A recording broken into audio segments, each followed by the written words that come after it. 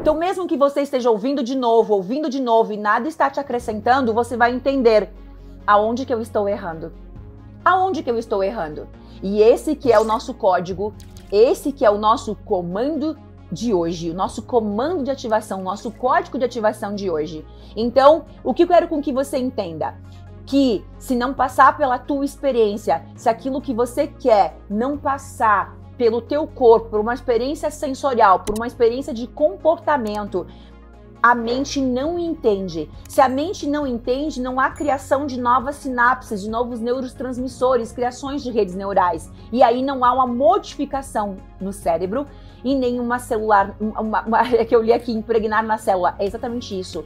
É impregnar, impregnar na célula é, aquilo que você quer. É, de novo, eu costumo falar que nós temos dois grandes é, passivos, assim, quando nós somos investidores, né? Mesmo que você não tenha um centavo, você se torna um investidor agora. Para você se tornar rico, se você quiser ser um investidor, você se torna, você tem que ter uma mente rica, né? É, ganhar dinheiro é muito fácil, você pode ganhar dinheiro de muitas maneiras, mas permanecer rico, permanecer na prosperidade, você vai ter que ter uma mente rica. Então, um dos nossos grandes investimentos é, que possamos, que, que a gente pode fazer em nossas vidas é investir. Ou você continua vivendo a vida que você está, ou você continua aonde você está, ou você se torna um investidor. Um investidor é, que investe na tua própria vida, como eu fiz. Ao invés de comprar comida, ao invés de comprar uma bolsa, ao invés de comprar um picolé, ao invés de comprar alguma coisa, durante muito tempo eu precisava investir em livros, em conhecimento, eu estava investindo em mim né? O meu maior investimento que me tornou quem eu sou hoje, a prosperidade que eu tenho, a prosperidade ela sempre vai existir. A pessoa ser próspera não há nenhum mérito nisso. Por quê? Porque prosperidade não é um, uma intenção. Olha o que eu estou te falando. A prosperidade, ela não, você não precisa pedir por prosperidade. Não precisa pedir, gente. Se você pedir para ser feliz, se você pedir para ter harmonia na tua vida, se você pedir para viver em paz na tua vida e sentir grato por todas as coisas, se você pedir como intenção você se sentir pleno, você se sentir amado, você sentir alegria de viver, o que, que você vai ter se você sentir isso? Prosperidade, mesmo que você não precise e mesmo que você não queira. Não importa. Nós temos alunos que entram no meu curso, pessoas que foram para o co-criador milionário porque entenderam que ser milionário não tem nada a ver com dinheiro. Ser milionário é você ser feliz, é você ser abundante, é você estar em paz. Você tem noção do que é dormir em paz? Quando eu estava no caos, na desordem, eu ia dormir todos os dias aflita, todos os dias chorando, todos os dias angustiada, querendo não acordar de manhã. E quando eu acordava, eu ficava triste. Eu ficava triste, brigando com Deus porque eu havia acordado e seria tão fácil se eu nunca mais acordasse. E eu ficava pensando, como seria uma vida de harmonia sem se preocupar com o dinheiro? Eu nem sabia que isso, que isso poderia existir um dia. Eu nem sabia que algumas pessoas no mundo é, viviam dessa forma, né? Então, é, você já parou para imaginar como seria isso? Então, quando você está em paz, quando você faz aquilo que você ama, quando você está em harmonia com todas as coisas do céu e da terra, é, você vai ter dinheiro. Você vai ter quanto dinheiro você quiser. Por que, que eu falei que você não precisa pedir por dinheiro? Porque dinheiro é uma é, é uma providência divina. É como assim, você não precisa pedir por dinheiro porque você tem direito à prosperidade.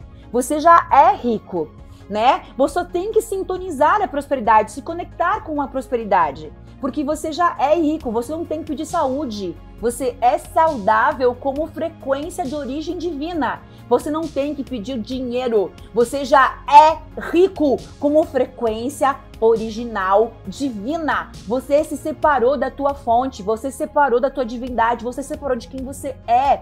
E aí que aconteceram os problemas, aí que aconteceu o caos, aí que aconteceu a pobreza, aí que aconteceu a desordem, mas como frequência original, como é, imagem e semelhança do Criador, tudo que é, com o poder que você tem, com a divindade que você tem, você já é próspero, você já nasceu rico, você já nasceu saudável, você já nasceu feliz, você não está isso, mas você é isso. Você não está agora, mas você é desde que você deseje isso. Então o resultado sempre vai ser dinheiro.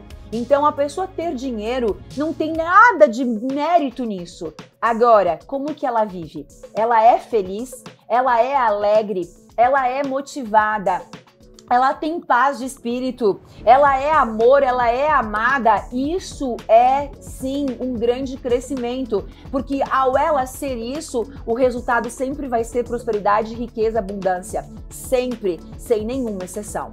Nós temos alunos que entram no nosso treinamento para encontrar a alma gêmea, para harmonia familiar, para conseguir um emprego ou até mesmo para ter. É é para perdoar, para se amar, não tem nada a ver com dinheiro. São pessoas muitas vezes prósperas ou muitas vezes que nunca precisam se preocupar com dinheiro. Elas têm outros sintomas emocionais a serem curados. Sintomas como culpa, depressão, falta de amor, rejeição, né? É, falta de é, sentimento de menos-valia, insegurança, e elas entram no holo cocriação de sonhos e metas com o objetivo de cocriar uma realidade dos sonhos. E sabe qual é o resultado delas no final do curso? É muito mais dinheiro na conta bancária. Por quê? Porque ao se sentir abundante, pela casa que tem, pela vida que tem, pelos olhos que tem, pelas mãos que estão mexendo, pelos pés que estão andando. Ao sentir alegria, ao sentir amor ao próximo, ao perdoar as suas, ao, ao perdoar as pessoas que feriram, ao curar as suas feridas, essas pessoas acabam crescendo monstruosamente. O resultado vai ser financeiro, mas não era o foco financeiro. Então imagina se sim esse for o foco financeiro. Então nesse curso eu aprendi uma outra lição que é o maior aprendizado para quem for no co-criador milionário. Existia uma pessoa lá na frente dançando e essa pessoa dançava ridiculamente. E todos os dias eu via essa pessoa dançando de uma forma ridícula, mas tão ridícula que eu tinha vergonha alheia de ver a pessoa dançando. E eu lá, mal me mexendo, morrendo de vergonha de estar assim, pelo menos me mexendo, né, lá com as pessoas.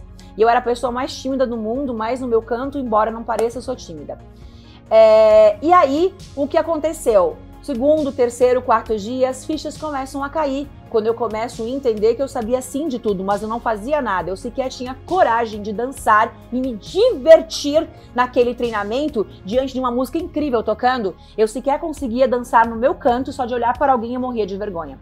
E aí eu entendi que esse cara, que não tinha vergonha, estava lá se divertindo, ele era a pessoa milionária, ele era o cara bilionário, ele era o cara que realmente tinha dinheiro para pagar, para ir almoçar onde ele quisesse, ele não precisava nem ir na praça de alimentação.